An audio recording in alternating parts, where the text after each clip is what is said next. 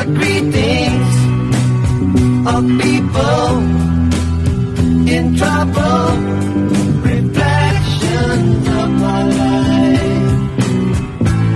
Oh, how they fill my eyes.